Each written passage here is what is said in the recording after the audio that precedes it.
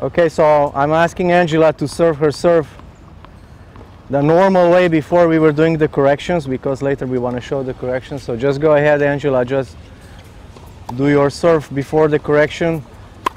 And uh, the thing that's missing at this serve is the so-called shoulder over shoulder technique, or actually the shoulder coming down a little bit too soon. So a good way to work on that is to actually exaggerate. So Angela will do the exercise now.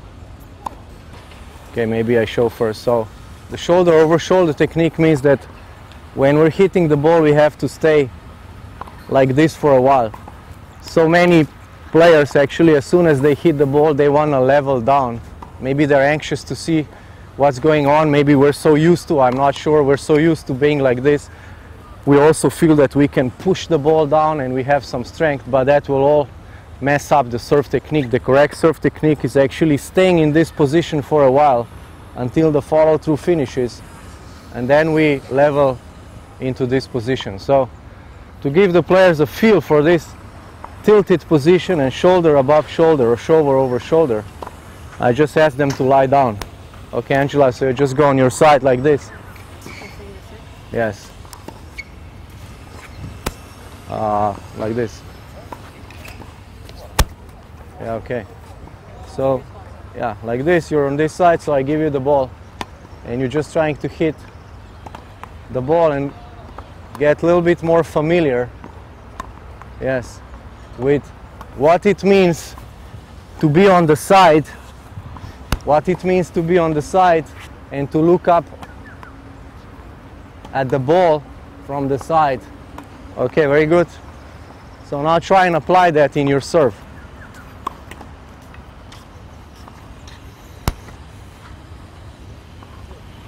Okay, so before you you go for a full serve, you just want to feel this position. So ideally you want to feel when you're serving from this position.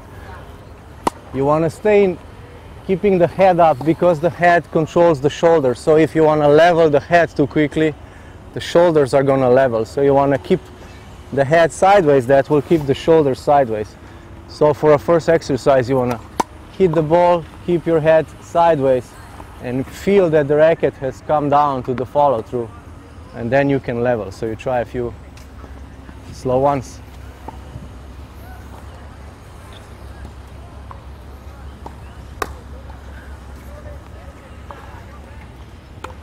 It's okay, we can cut those out. there we go.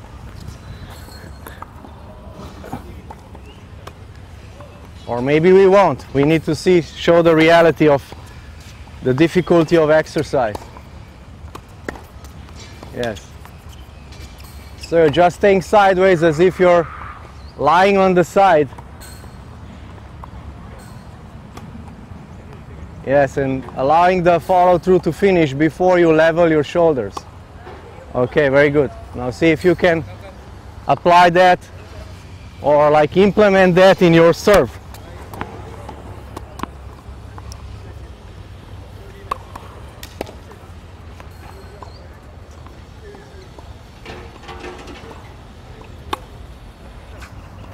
So here's another view of the shoulder over shoulder. So the first service, the first serve I'm going to show is not doing that. So most people want to go in this position, then they want to go down very quickly in where the shoulders are level or horizontal. So they're doing like this very quickly.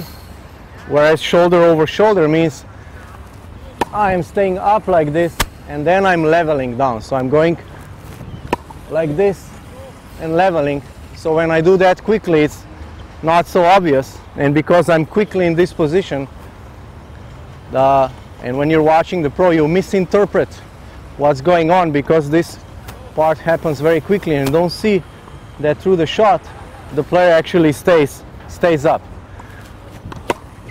So oftentimes I'll tell the player, stay up, stay up with your head, stay up with your shoulder, finish the shot, complete the serve, then you can level.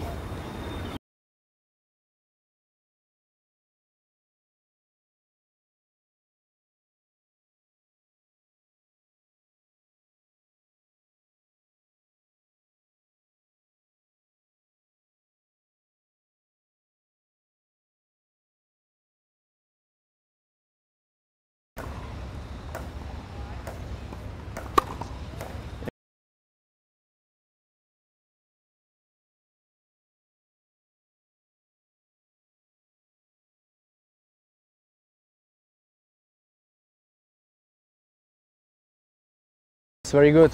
So what does this do for you? Like what you feel different?